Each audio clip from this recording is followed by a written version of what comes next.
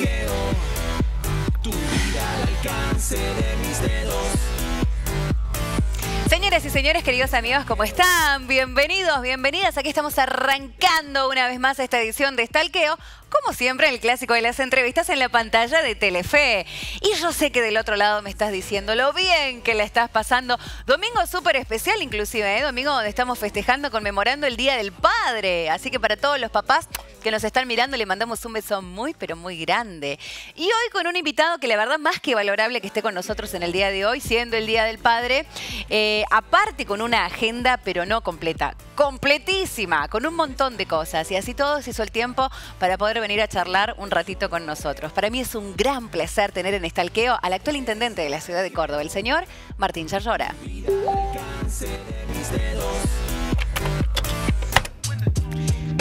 Te decía, actual intendente de la ciudad de Córdoba y está peleando por la gobernación en Hacemos Unidos por Córdoba, la gobernación de nuestra provincia. Y la verdad es que se viene trabajando y se viene trabajando muchísimo. Y damos fe de eso, justamente por eso lo tenemos acá, para poder hablar de absolutamente todo lo que se viene. Martín Yarrora con nosotros, intendente, antes que nada, feliz día. Bueno, gracias Laura en saludarte y feliz Día del Padre a todos los que nos están viendo. Bueno, ¿cómo está? A full. A full, a full. Así. Ya falta poco A pleno. tiempo. Pero eh, a full, pero tranquilo. Tranquilo porque eh, los vecinos de Córdoba, cuando recorremos la ciudad, eh, nosotros le hemos cumplido. Saben que más allá de la recesión económica y los problemas que hay hoy, que son tremendos, y, y más allá también del tremendo dolor de la pandemia, porque estamos marcados por eso. Sí, gestión, totalmente. eh, la ciudad está mejor, que cada día va avanzando y hemos podido sacarla del abandono eh, en estas circunstancias. Así que eh, ese reconocimiento y ese afecto de los vecinos eh, lo siento y, creo que es el primer escalón, digamos, para poder justamente poder ser el próximo gobernador de la provincia. Porque si uno no hace las cosas bien en donde está, es muy difícil querer proponerse para algo más, como cualquiera, en cualquier trabajo o en cualquier lugar. Y en este caso, que soy el empleado de todos los cordobeses, siento esa tranquilidad eh, de haber cumplido con el compromiso que asumí, de sacar la ciudad del abandono, ¿no? que es donde estaba y me tocó este tiempo tan, pero tan duro. Y lo mismo, faltan cosas, como en todo, porque el progreso no cansa, pero yo sé que los vecinos saben que la ciudad está mejor. Por eso les pido a los vecinos que me acompañen, porque también como gobernador de Córdoba voy a poder ayudar para que este proceso en la ciudad no pare, siga para adelante. Intendente, yo eh, por ahí me pregunto, ¿no? Porque, bueno, usted viene ya de- desde hace muchísimos años en trabajo de gestión, desde San Francisco, después Mm. en diputados, eh, después, bueno, con, con la intendencia en Córdoba de- y ahora pe- peleando por la gobernación. Y uno se pregunta, tenés que ser un apasionado realmente de la política y de la gestión, ¿no? Y, y de los intereses de la gente para hacer todo lo que se está haciendo. Porque uno perfectamente podría decir, pero si como intendente está perfecto, si viene bárbaro, ¿por qué no sé qué? Y no, y es vamos por más, vamos por más, peleemos por más. ¿Qué te, qué te motiva? ¿Qué te lleva a siempre querer más y por sobre todas las cosas a, a trabajar para y por la gente? ¿Qué te motiva? Eh, y la vocación de servicio público. Desde, desde muy chico, eh, cuando volví a San Francisco, eh, vi que la ciudad estaba por debajo de su, de su potencialidad. Y cuando una ciudad está por debajo de su, potencial, su potencia o de todo lo que puede hacer, todos los vecinos pierden oportunidades de crecer y de progresar y de vivir mejor. Y eso me desvela. Y bueno, Mira. cuando me tocó la ciudad de Córdoba, gracias a, a los vecinos y a Dios, eh, eh, también uno la veía, me acuerdo cuando recorríamos con Juan, yo era vicegobernador de él, recorríamos y yo le decía, mirá, falta esto, esto, uy, qué desastre esto, ¿cómo no hacen esto? Claro, ya tenía la mirada de intendente, de- fui ocho años intendente de San Francisco y veía todas las cosas que se podían hacer. Eh, y bueno, después con el equipo nos planteamos este, este gran desafío. Y, y bueno, nunca esperaba tampoco que nos tocara este tiempo tan difícil, tan malo, eh, porque yo goberné también en tiempos mejores. Entonces estos tiempos son muy difíciles con inflación, con recesión, con falta de empleo, que te genera Sí. a los que estamos gobernando muchísimas dificultades con la pandemia. ¿no? Con un debut en pandemia. Sí, tremendo. A los cuatro meses de, de ingreso. Decí que muchas de las reformas centrales las hice apenas en tres. Eso es lo importante de tener experiencia previa, de haber gestionado antes. Entonces uno ya sabía qué cosas había que reformar. Metimos casi 50 ordenanzas estratégicas. y del primer día ya encaramos la reforma central. Cuando ya llega la pandemia, ya nosotros habíamos eh, hecho algunas reformas estructurales eh, que, por supuesto, la pandemia nos cambió las prioridades, era salvar la vida de la gente nuestra primera prioridad y así fue, y así lo hicimos. Eh, pero bueno, eso fue un cambio y un dolor muy grande. Y las ciudades más grandes las sufrieron peor, ¿no? Peor no en el sentido de, víctimas, sino peor en el cierre de los comercios. Nosotros somos una ciudad que está vinculada al turismo, a los servicios, al comercio. Eh, y afecta distinto a una ciudad que está vinculada, por ejemplo, a la industria o directamente vinculada al agro, porque esa actividad no paró, entonces no chocó tanto en la economía local. Nosotros tuvimos más de 3.000 cierres de comercios. ¿Qué logramos? Eh, hace, hace unos meses la Cámara de Turismo y de Hoteles me dio una distinción y yo lo sentí como propia porque pasamos tan duros momentos eh, y, bueno, logramos justamente recomponer rápidamente. De hecho, este primer trimestre, eh, la provincia de Córdoba y nuestra ciudad es una de las que más creció en empleo privado. Entonces, bueno, gobernar es generar trabajo y ese es un desvelo.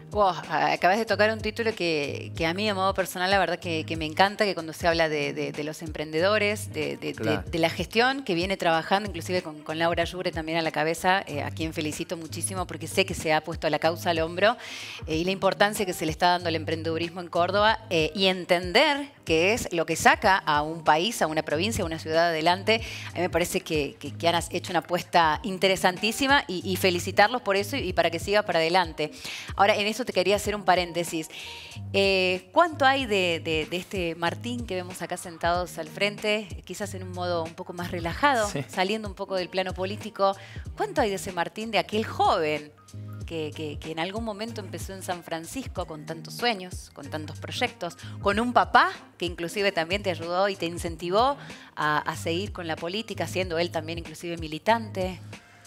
No, yo creo que los, valores esenciales siguen estando, lo que uno ha acumulado ahora es experiencia. Y eh, digamos, el paso de los tiempos te hace tener más sapiencia, más experiencia, y la gestión es eso. Es como cualquiera en cualquier profesión. Eh, y creo que eso vale mucho en los, en los, momentos cuando vos tenés que elegir a alguien para gobernar. De la misma manera que cuando uno dice, tengo que ir al médico. Bueno, uno si se tiene que operar quiere un médico que tenga experiencia, que sepa, eh, uno se encarga. Desde un médico hasta un pintor, ¿viste? Vos decís, che, tengo que pintar algo en mi casa. Eh, bueno, me parece que lo importante cuando vos tenés que elegir a alguien para gobernar es buscar qué hizo antes y qué hizo cuando le tocó gobernar. Y yo tengo esa, esa posibilidad de que llamen a San Francisco y le pregunten a los vecinos cómo tomé la ciudad la dejamos con un polo educativo, polo productivo, con obras, y de ahí se encaminó y no para de crecer y de progresar. Y veo ese mismo, y veo eso mismo para la ciudad de Córdoba. Por eso el ir para adelante, que vos dijiste, ah, siempre ir para adelante, eso lo tengo, después te voy a contar algo en especial, pero digo, ir para adelante es primero no ir para atrás. Y, o sea, es, es, conservar los valores que tenemos que nos han llevado hasta acá, los equipos que tenemos que nos han llevado para acá, y después plantearnos las reformas del futuro. O sea, lo que falta hacer, porque todavía falta hacer mucho, y claramente somos una nueva generación que tenemos que aportar una impronta que, que hay que hacerla, ¿no? Eh, y es por eso que en esto de la ciudad eh, nosotros hemos subido, hemos hecho mucho, pero falta mucho.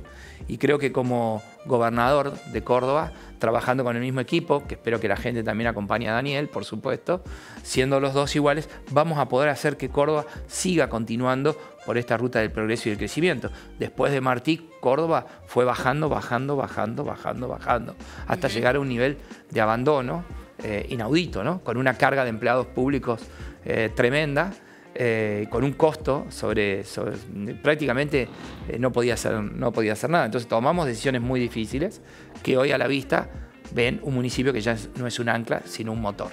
Entonces yo le pido por eso a los, a los cordobeses que nos ayuden a ir para adelante. Porque la democracia tiene algo hermoso y lindo, que todos valemos uno, o sea, el voto es uno por persona. Y eso es un derecho, pero también es una responsabilidad. Y es la responsabilidad de saber que con tu voto vos estás colaborando y construyendo una comunidad, mejor o no, de acuerdo a quién acompañás. Y que vos sabés si podés medir justamente en esta elección a gobernador, porque los que estamos hemos gobernado, y justo hemos gobernado Córdoba. Y vos sabés perfectamente cómo gobernaron los otros Córdoba y cómo gobernamos nosotros Córdoba. Solamente comparando las gestiones, vos podés ya esperar lo que uno puede hacer y lo que el otro puede hacer. Entonces me parece eh, esencial en este caso pensar unos minutos, reflexionar y no decir, no, porque yo total, mi voto es uno y votan muchísimos. No, ir a votar, ir a la elección, hacerte cargo de tu futuro con ese voto sabiendo si querés que Córdoba vaya para adelante o repita los errores del pasado. Eso, eso te iba a decir. Por ahí es bueno ir para... eh, No, por ahí no. Es bueno ir para adelante, es óptimo ir para adelante, pero también es óptimo no olvidarse. ¿No? no mirar para atrás, pero acordarse de las cosas que pasaron y no, no ser reiterativos en, en el error.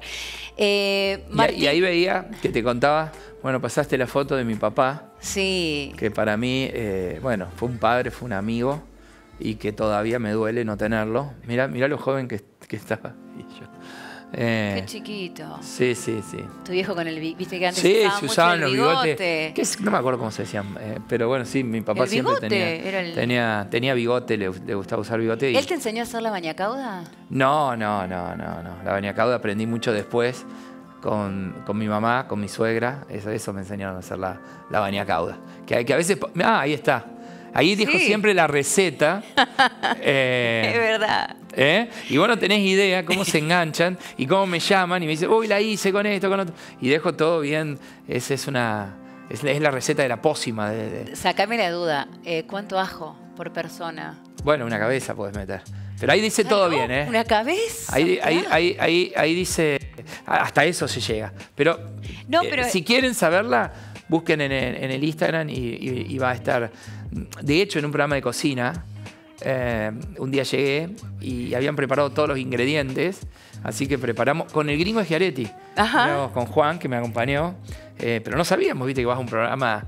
eh, y, dicen, bueno, acá preparamos, como sabemos que ustedes son los dos gringos, dicen, y vos de la gringada allá, vamos a comer una bañacauda, háganos una bañacauda. Nos miramos con Juan, le digo, vení, vamos, sí. ¿A Juan también lo sabe sí, hacer? Sí, nos vestimos. Y, y no, bueno, es que es básica, aparte es, es sencilla y es riquísima, es riquísima. La salsa, bañacauda es salsa caliente.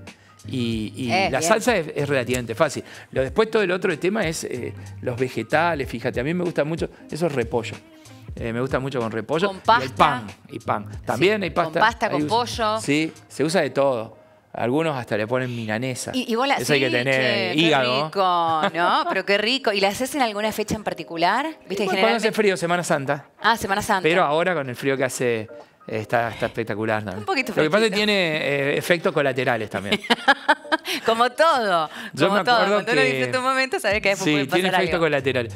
Yo me acuerdo que tenía, cuando estudiaba, tenía muchos amigos del norte y ellos hacían comidas típicas de allá. eh, muchas empanadas y todo. Entonces íbamos a la casa. Y bueno, y bueno, yo siempre íbamos a la casa, ha- hacían guitarreadas, cantábamos. Y eh, entonces un día dicen, che, hay que, eh, loco, escúchame, vení siempre a comer, organizate algo. Ok. Y me, Ah. y me armé una bañacauda. Y no les dije nada de los efectos colaterales al otro día. Eh, entonces comían, pero yo hice una olla así. Y comían y pasaban el pan y le metían y yo lo veía y digo, ay, mañana van Ay, a mi amor. ya en, en una hora y media más empiezan a transpirar y, y mañana, al otro día, cuando me dieron en la facultad, escuchame, me lavé los dientes 400 veces. Y aparte yo la había hecho... eh, La habías hecho es pesada, potente. espe- Sí. especial como porque para, para reírme al otro día también. Y aparte es riquísima. La primera vez que comían. Pero. ¿te gusta, te gusta cocinar? ¿Te gusta estar Sí, en la cocina? Sí, sí, Aparte de la bañacauda, especialidad omelette, Sí, eso es fácil. más estudiante, me imagino. Omelette, Habiendo sido estudiante. Arroz, viste arroz de todos tipos, viste, cuando soy estudiante, arroz de. Arroz blanco, va- amarillo. va- variado, arroz. Sí, Yo sí, creí que en un momento me iba a ser chino. Casi me- los ojos se me estaban poniendo de tanto arroz. Eh, pero sí, sí, no, no, cocino de todo. de Ahora, todo. ¿qué, ¿qué tema este, no? Porque, bueno, convengamos que te, gusta cocinar, no tenés tiempo para cocinar, porque sos una persona abocadísima 100% a su trabajo. De hecho, los que trabajamos en, en- en medios, más de una vez nos ha llegado el mensaje de, ¿ustedes sabían que el intendente duerme en la municipalidad? Sí, ¿qué de cierto en eso? ¿Mito, mito o realidad? Eh, realidad. realidad. ¡Wow! Sí, sí, sí, muchas veces. La pandemia fue un hecho en donde yo sentía que, que no podía descuidar nada y que tenía que estar 24 por 24. Así que ahí eh, directamente me quedaba. Eh, a la noche eh, bueno, vos fijate que nosotros no tuvimos eh, hoy con este frío que hace que ya están trabajando, pues yo estoy de licencia, ¿no? He salido de licencia para, para poder hacer, licencia sin goce de haberes, por supuesto, para poder hacer la Ajá. campaña. Y, y bueno, pero llamaba los otros días para, para preguntar, para, che, ¿qué estamos haciendo con la gente en situación de calle? Y nosotros cubrimos a toda la gente de situación de calle y ninguno se murió. Está con, está con Raúl Acaba, Estábamos, claro, con Raúl, con Liliana Montero con la Lili. y con todo un equipo maravilloso y muchos eh, en ese periodo después empezaron a volver a su casa. Por eso el censo, fíjate, nos dio muy bajo, si vos ves cantidad de poblaciones, gracias a Dios, de gente en estado de situación de calle. Eh, Claro. por todo el trabajo que hicimos en pandemia. Me acuerdo que en un momento Mario Pereira salgo y porque yo sentía que decían todo el mundo quédese en su casa. ¿Y qué hacíamos con los que no tenían casa? Y claro. Júntenos a todos. Alquilemos hoteles, no, no, no es humano que ni cristiano que nosotros dejemos al que no tenga casa libre frente al virus. Y al otro día salgo en televisión que se enter- en- en- con Mario Pereira y me dice, eh, Martín, ¿es verdad que esto? Sí. Y, y me hace una pregunta y me dice, ¿y qué vas a hacer cuando la pandemia termine? Como diciendo, ¿qué, qué- qué vas a hacer? ¿Qué, qué- cuál es el problema? ¿cómo, ¿Dónde los reinsertás? No sé, que Dios, que Dios, que Dios nos ayude. Pero ahora lo salvo. Claro. E increíblemente, fíjate, Dios nos ayuda, no murió nadie. Cuando volvió la pandemia, la mayoría se reinsertaron, volvieron a sus provincias. Claro, fue un proceso casi de, de- de volver a conectarse con sus familiares, algunos. Otros se insertaron en el trabajo con unos programas que hicimos. Así que, bueno, fue, fue mágico. Mucho ping-pong, mucho ping-pong. ¿Cómo lo conociste a- a- al gringo Schiaretti? La primera vez que lo conocí fue porque yo estaba a cargo de un programa de, de empleo, los famosos Primer Paso, eh, y otros programas, porque eran como 5 o 6 en el 2001, y él era ministro, era el ministro del área, así que ese fue el primer recuerdo que tengo de él en la gestión, en el medio del... Creo que era ministro de varias, de- con varias carteras, producción, economía, ya no me acuerdo, pero eran varios porque se había reducido en la crisis y cada uno tenía que hacerse cargo de un montón de lugares. Yo de hecho era, me hacía cargo de la Dirección General, creo, de, Empleo, eh, pero todos con, bueno, todos los programas y capacitaciones. eh, o sea, el PPP, el programa, eh, el PET, eh, bueno, todos los programas que tenían que ver con el incentivo del trabajo y todos los programas de capacitación eh, del trabajo no formal, ¿no? Cuando vos te capacitas y, vali- y validas. En ese momento un- una cocinera, Sí. una, un electricista. Así que bueno, yo estaba en los institutos de formación y bueno, para mí fue espectacular. Esa fue mi primera vinculación, si querés, de alguna manera. Además de, yo estudié en una escuela del trabajo, muy pocos lo saben. Yo estudié en esas escuelas de, soy técnico en electrónica. Eh, después estudié abogacía y después estudié una diplomatura en gestión pública y después me fui formando con cursos tanto locales como en el extranjero. que se corta la luz, lo sabes solucionar sin problemas. Eh, sé- puedo saber por qué se corta. Pero no Eh, lo sé solucionar. No, bueno, pero entiendo, sí pero sí entiendo cómo funcionan las cosas eh, en materia de electrónica y eso te ayuda mucho a entender este. Sí. En ese momento la electrónica era lo más avanzado, casi el, so- el software recién iniciaba. eh, y bueno, fui a una escuela del trabajo, una escuela técnica que te prepara para la industria. Entonces, eh, bueno, esa es parte, parte de, de mi vida. Y pegaron onda, a- apenas se conocieron con Schiaretti. Yo era muy joven, Sí. Muy, muy joven, muy joven. No, no, eh, digamos, eh, siempre lo vi, eh, es un visionario en las reuniones que teníamos, siempre tenía, cuando vos hacías un planteo y llevabas dos soluciones, él te daba siete. O sea, ah, sí, y esto, esto, esto y esto. y esto. Oh. Ah, Siempre te, te- es un estadista, siempre abre ¿no? Las, los abanicos de soluciones que se lo da la experiencia y la inteligencia. Y es una persona que viene muy de abajo, de, de- de barrio, eh, y así que, que tiene esa sensibilidad social y que, bueno, es un trabajador incansable. Eh, así que, bueno, no, no, es- no- no les tiene que sorprender a nadie que nosotros vengamos de esa escuela. Porque si vos tenés el ejemplo de alguien que es 24 por 24, vos también sos 24 por 24 y no podés estar en un equipo cuando los que conducen el equipo eh, le ponen el corazón y la vida. Entonces eso también genera una mística alrededor. Y después, eh, bueno, y después eh, ya lo vi cuando, eh, bueno, empezamos a tener mucha más relación cuando yo vuelvo de concejal eh, y cuando gano la intendencia de, de San Francisco. Claro. Ahí, ahí es donde él es gobernador por primera vez y volvemos a, a tener una relación ya distinta. eh, porque bueno, ya habían pasado muchos años también, yo como intendente y él, y el gobernador, y trabajamos muy en conjunto, yo tomé medidas muy difíciles en San Francisco, pero logramos mejorar el municipio y pudimos hacer un montón de, de cosas en, en conjunto.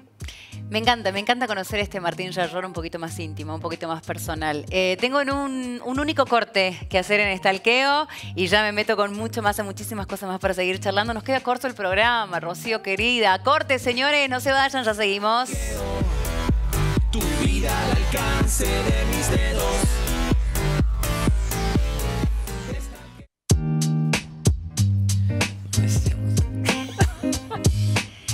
En este segundo y último bloque en Estalqueo, hoy con el intendente Martín Yarlora.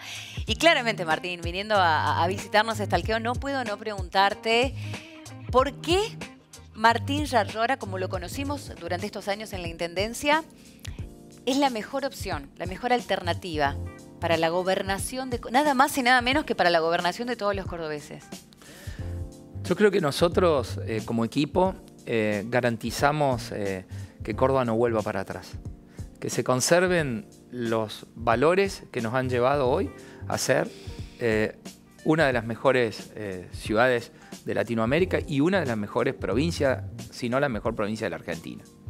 Aún en este marco difícil, en este marco de inflación, de desempleo, del cual no tenemos nada que ver. Eh, yo le pediría a todos que acompañen a Juan Schiaretti, porque yo creo que Juan lo podría resolver siendo candidato a presidente. Ahora, aún en ese marco, Córdoba avanza. Córdoba va para adelante. Y eso hay que conservarlo. Y a mí me parece que uno puede evaluar las gestiones.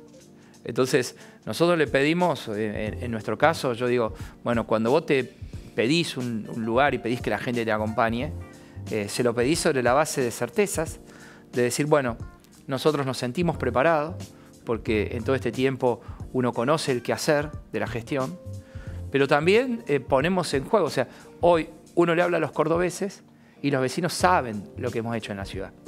Y queremos que la ciudad siga por este camino. Y entonces también desde la gobernación, lo que vamos a hacer nosotros es volver a trabajar en equipo para que la ciudad siga adelante.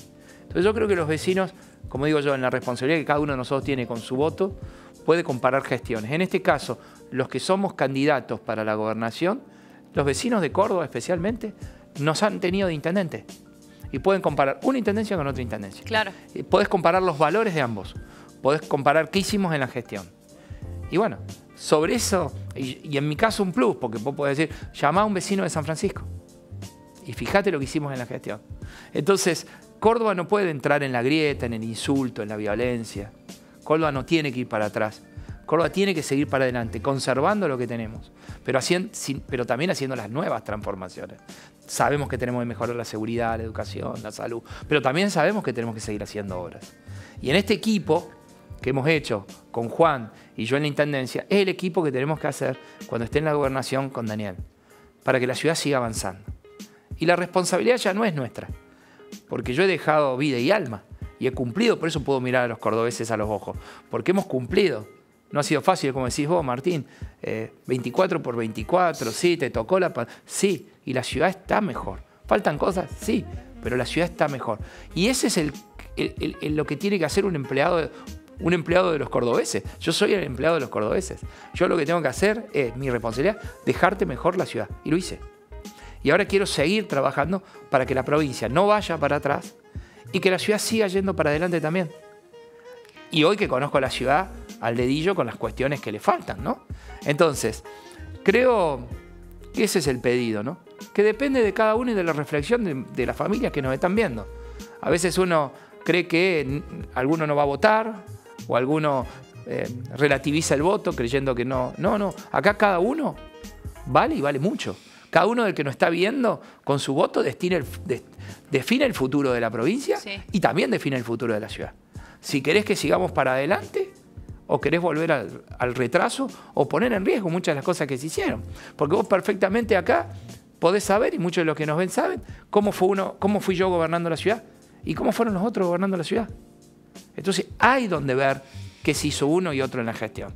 Entonces vos tenés donde averiguar, tenés donde comparar. Y entonces sobre esa valoración creo que vos podés elegir. Y creo que en esa valoración nosotros somos la mejor opción.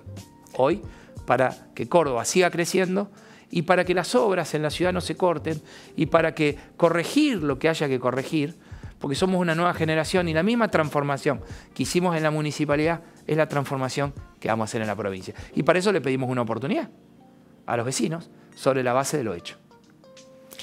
Me encantó. Como bien la gente sabe, nuestro programa no es un programa eh, que sea estrictamente o 100% político, así que por eso la idea era sacarte un poquito de, ahí, eh, saber los ejes centrales de lo que va a ser la campaña, eh, quizás sea hablar más de lo que ya venís comentando, sabemos cuáles son, seguridad o inseguridad, economía, problemas de inflación, jubilados y demás. ¿Algún otro que quieras agregar que consideres importante para que los cordobeses también lo tengan en cuenta? la educación la, salud y por supuesto la generación de empleo.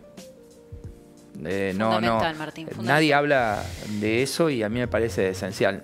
Eh, nadie, gobernar es generar trabajo y, la, y sobre la generación del trabajo se resuelven los demás problemas. Yo creo que hoy nadie se siente, nosotros subsidiamos el empleo, no el desempleo. Y yo veo que hoy el país subsidia el desempleo. Y esa gente que va con con un subsidio y, lleva a sus hijos a un comedor popular. Imagínate la tristeza también. Todo el mundo quiere tener un buen trabajo para que sus hijos coman en su casa y tengan un mejor futuro. Y bien remunerado. Y es por eso que el acompañamiento que hago a los emprendedores, a los industriales, la defensa de la producción, del campo, de la industria. Esa visión de hacer obras y de generar progreso. Eh, con progreso baja la inseguridad baja la inseguridad también. Y después mirar de otra manera, ¿no? Eh, muchos se sorprenden porque con la mirada que yo tengo me dicen, vos sos mano dura. No, yo soy mano justa, con la mirada principalmente de la creación de las policías municipales, de permitirles el ingreso de, las armas no letales para poder darle más combate al delito, o lo del ejército. ¿Cuánto vamos a estar eh, con, un debate ideológico, ya que ya pasaron tantos, pero tantos años, eh, con un debate ideológico sin darle funciones? Porque no tenemos conflictos externos, los conflictos los tenemos internos. Y el principal conflicto es el narcotráfico.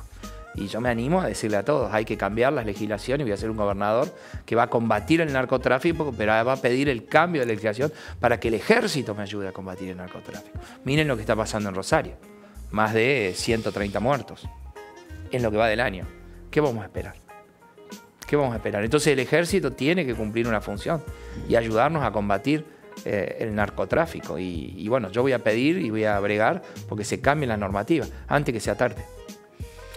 Intendente, gracias. Muchísimas gracias por esto. Bueno, ya la responsabilidad, queridos amigos, queridos vecinos, ya es nuestra. ¿sí? Eh, nuestra misión es escucharlos, es escucharlos y nosotros desde este lado darles la posibilidad de que, de que nos puedan contar, de que nos puedan decir. Hablábamos de emprendedores, los regalitos son de emprendedores cordobeses, así que un placer que usted los pueda llevar y los pueda disfrutar. Así que muchas gracias, muchas gracias por este tiempo, gracias a todo el equipo de prensa que, se ha acercado también eh, y que sea lo que los vecinos quieran que sean y lo mejor para los cordobeses sobre todo. muchas gracias Laura y eh, saludar a todos los vecinos, especialmente eh, a todos los papás. Eh, y bueno, a los que no los tenemos, como en mi caso, eh, van a estar siempre eh, en nuestro recuerdo y, y es como que uno siempre lo siente acompañándonos en todo. Así que feliz Día del Padre para todos. Gracias, Martín, un placer. ¿eh? Martín Yayora, el intendente de, la ciudad de Córdoba, estuvo aquí con nosotros y nosotros aprovechamos y te agradecemos a vos. Primero, feliz Día del Padre para todos y nos volvemos a encontrar en la próxima edición, edición de Estalqueo. Soy Laurita Loforte y nos vemos en la próxima. Chao, chao tu vida al alcance de mis dedos. Destaqueo, aunque lo ocultes yo.